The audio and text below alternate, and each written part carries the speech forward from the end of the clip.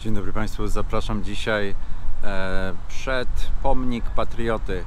Zapraszam na obchody stulecia Bitwy Warszawskiej. Trochę spóźnione, no ale y, Bitwa Warszawska i kampania, która wtedy trwała, y, no rozciągały się również w czasie. To pani prezes, dlaczego teraz? Dlaczego? Bo to tak jak stulecie Bitwy Warszawskiej, prawda? A, ale to już tydzień temu. było. A, tak, było tydzień temu i ponieważ okres bitwy, bitwa warszawska trwała od 13 do 25 e, sierpnia, więc jeszcze zmieściliśmy się w czasie. Poza tym, e, ponieważ e, nasze grupy związkowe są rozlokowane w, w miastach ontaryjskich, w wielu miastach, odbywają się, odbywały się też tam uroczystości. Dzisiaj między innymi e, w Sarni odbywa się uroczystość taka podobna do naszej. E, Więc nie będą mogli tutaj przyjechać przedstawiciele. No i, e, i wymyśliliśmy sobie, że ponieważ poprzedni tydzień był bardzo, myślałam, że będzie bardzo bogaty w uroczystości e, setnej rocznicy Bitwy Warszawskiej, więc wymyśli, pomyślałam, że na zakończenie tej, tej rocznicy pięknej będzie nasze zakończenie tutaj przy pomniku Patrioty, pomniku, który jest nam szczególnie bliski ze względu na to, że był to pomnik, e, który stał w Place Polonaise w, Grym, w Grimsby i w 2010 roku został tutaj przewieziony dzięki Ja mam do pani takie niecodzienne pytanie. Tak. E, Kiedy pani się dowiedziała o Bitwie Warszawskiej? Czy to była tak w rodzinie, e, bo jak chodząc do szkoły w Polsce Ludowej, Polsce Ludowej. o Bitwie Warszawskiej się dużo nie mówiło, jeśli w ogóle. Niestety się nie, nie mówiłam. Ale kiedy to taka pani prywatna historia? A Kiedy, moja kiedy pani się prywatna dowiedziała? historia, no chyba, ponieważ ja jestem tak, z wykształcenia jestem polonistką, ale pasjona, y, lubię bardzo historię. Więc y, no, wszystkie możliwe y, hi, historyczne kursy biorę. Y, Kiedy się dowiedziałam? Bardzo dawno. Bardzo dawno. Mhm. A jeszcze w Polsce- Jeszcze w Polsce, tak, jeszcze w Polsce. Czasami szeptał mój tatuś mi o różnych rzeczach z historii. Mówi dziecko, jak będziesz dorosła, to się wszystkiego dowiesz. Czyli to Ale- taka rodzina właśnie, to jest Tak. znaczenie rodziny w wychowaniu. Znaczy, tak, dokładnie tak i on za, cały czas o, o obawie mówił mi, o tym opowiadał nam wszystkim, było nas, jest nas pięcioro, więc tę, tę historię nam tam przybliżał, ale nie za bardzo chciał mówić ze względu że na to, że był e, w Armii Krajowej, był miał swoją, swój kawałek życiorysu w więzieniu, także, mm, także no było mu Chciał trudno chronić dzieci. i chciał chronić dzieci. Także no, a w tej chwili, no to ponieważ jestem uczestnikiem polonijnych spotkań z historią najnowszą, które organizuje Biuro Edukacji Narodowej Instytutu Pamięci Narodowej dla nauczycieli polonijnych z całego świata, jeżdżę tam co roku, jakoś mam szczęście, że jestem kwalifikowana, więc w tej chwili na bieżąco wszystko to, co mogę, to prze, że tak powiem przenoszę na ten teren tutaj e, e, do szkół kanadyjskich, robię kwartalnik nauczycielski, redaguję e, Bo pani prezes to kwartalnik. chyba jedna z najważniejszych e, rocznic dla nas. To jest taka formująca państwo polskie bitwa, to jest raz, tak. a dwa, że zwycięska. Bo my dwa, przecież tak. e, te powstania, które mamy, niewiele wśród nich mamy powstań, e, które Ale są ta jest szczególna. Ta jest zwycięskie, szczególna. a to no To jest, ta bitwa jest szczególna i ten cud nad Wisłą, o którym się ciągle mówi, że to był cud, niech zostanie w, tej sferze cudów, ale było to, była to ważna, ważna, ważna y, dla nas ważne wydarzenie historyczne i powinniśmy o nim pamiętać zawsze i przypominać, y, popularyzować wśród młodzieży szkolnej, bo to jest, to jest najważniejsze. Moi uczniowie na pewno wiedzą. No,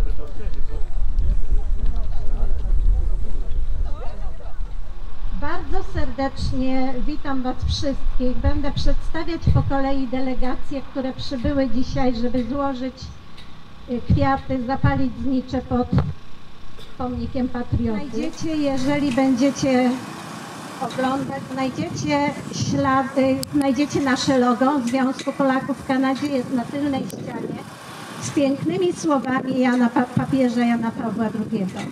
Świadomość własnej przeszłości pomaga nam włączyć się w długi szereg pokoleń, by przekazać następnym wspólne dobro, naszą ojczyznę. Nasz kolega Wojtek Michał Wojnarowicz. Wojtku, zapraszam.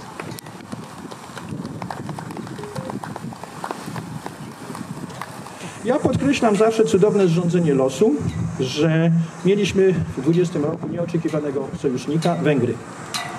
Komuniści, robotnicy komunistyczni w Czechach, w Niemczech odmówili rozładunku i transportu pomocy wojskowej i materialnej z Francji do Polski. W kwietniu 20 roku żołnierz polski obronił nie tylko istnienie, ale to jest ważne, obronił istnienie odradzającego się państwa polskiego.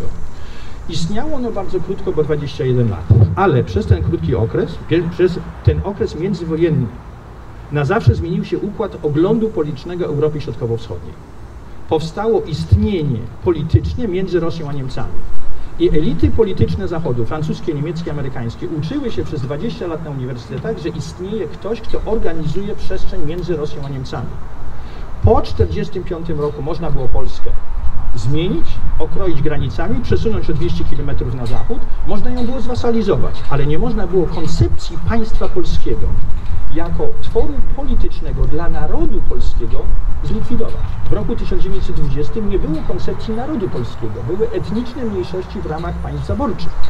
Stworzenie politycznego bytu państwa polskiego te straszliwa, ta straszliwa cena krwi, którą zapłaciliśmy między 1939 a 1945, przekonało decydentów ze Stalinem na czele, że musi istnieć organizacja państwowa dla państwa polskiego. Stalin był tym, który był bardziej konserwatywny niż jego komunistyczni doradcy z Polski, bo to Stalin na przykład zachował polskie godło orła.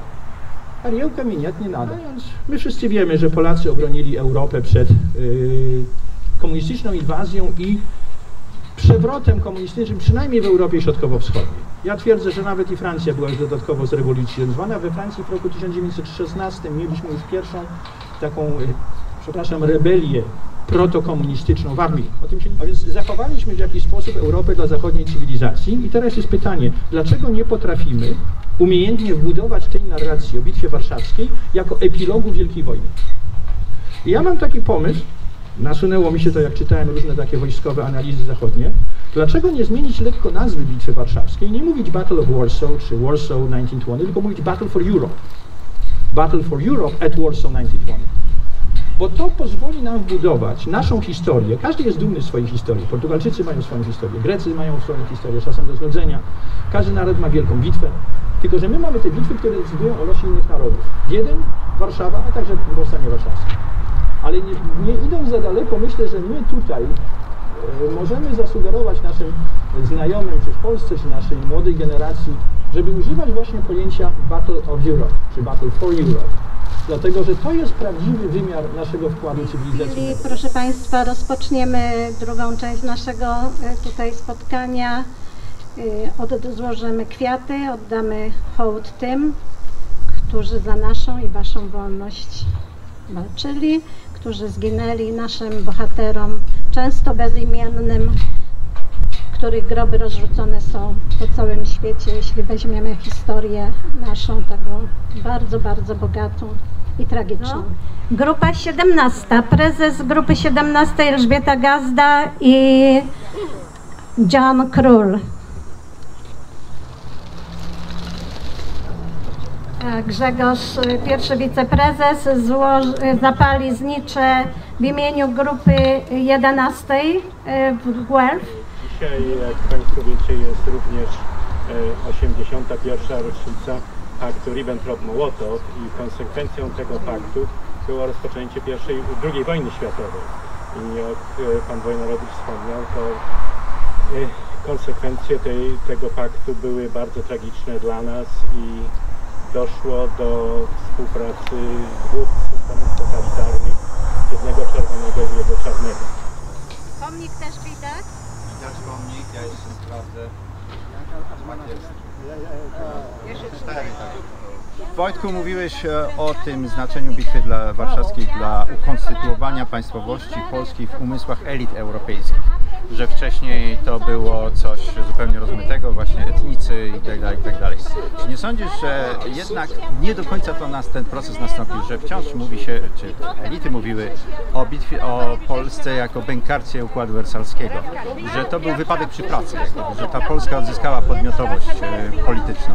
I w zasadzie do dzisiaj pokutuje wśród elit niemieckich, wśród może nie tyle rosyjskich, ale niemieckich czy francuskich, no takie oświeceniowe podejście do Polaków. Polacy nie potrafią się rządzić i to wpływa również na ocenę bitwy warszawskiej, tak zwanej, słusznie mówiłeś, że powinna być europejska.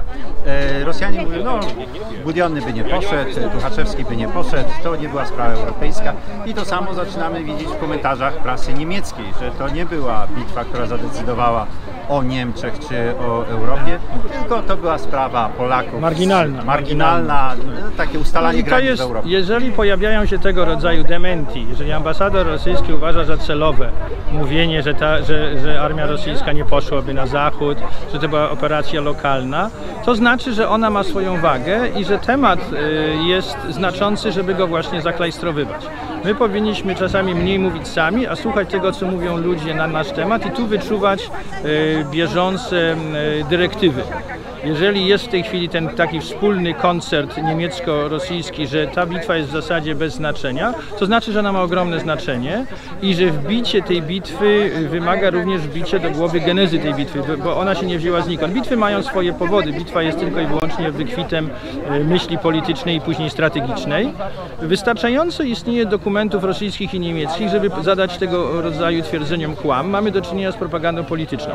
Właśnie w trakcie roku 20 pojawiło się to pojęcie Saisonstadt, y, to niemieckie ukucie politycznego terminu, który miał przekonać samych Niemców, że Polska to jest tymczasowy byt, ale i rzeczywiście można powiedzieć, że w oczach elit niemieckich czy rosyjskich, tych elit, które widzą przyszłość e, swojego kraju jako dominującego i organizującego przynajmniej Europę Środkową, jeżeli nie całą, Polska jest pewnego rodzaju zakałą, ponieważ nie daje się wygodnie wbudować. Węgry są krajem na tyle małym i pokrojonym przez Zachód, że Węgry mogą być y, lojalnym takim partnerem niemieckim, bo są do tego przymuszone. Ja Węgrów o nic nie winię. Czesi mają tradycję bycia i funkcjonowania w krajach e, niemieckojęzycznych i z tego odnosiły bardzo pokaźne benefity. Tutaj nie ma tego problemu z zagospodarowaniem żywiołu czeskiego.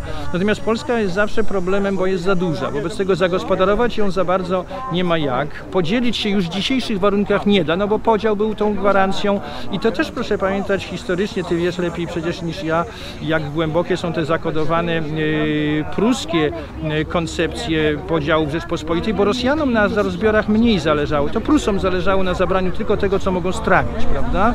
Dlatego układ e, ten Ribbentrop-Mołotow, on też jest bardzo ciekawy w swojej analizie, co Rosjanie proponowali Niemcom i Niemcy chętnie oddaliby dużo więcej Rosjanom, ale Stalin twierdzi, że no jednak trudno będzie przekonać świat, że Warszawa prawda, i, i, i- Lublin to są miasta ukraińsko-białoruskie.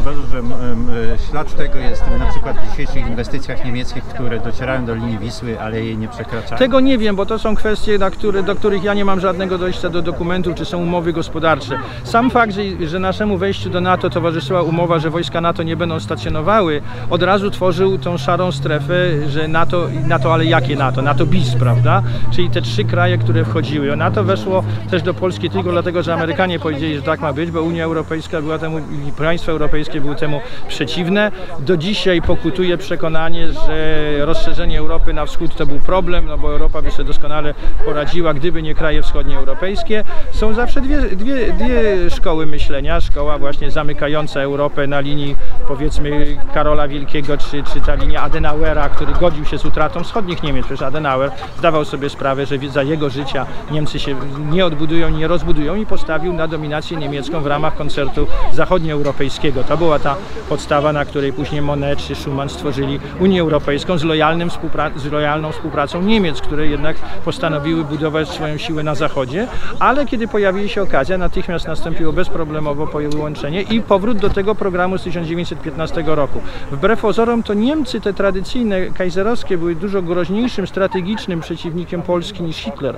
Dlatego, że Hitler wywracał całą budowę państwa europejs- państw europejskich i Hitler stawał się automatycznym wrogiem Zachodu i był nie do y, umówienia, że tak powiem, z Anglikami czy Amerykanami. Nie próbowano, stąd to żądanie bezwarunkowej kapitulacji, które powiedzmy wojennie strategicznie mogło być uważane za błąd, bo przedłużyło wojnę.